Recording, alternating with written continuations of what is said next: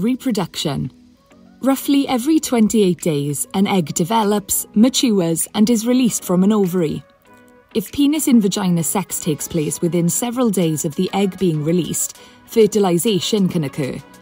When sperm enter the vagina, they swim up through the cervix and uterus to meet the egg in the fallopian tubes.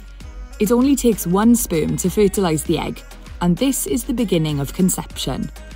The egg is only alive for 24 hours.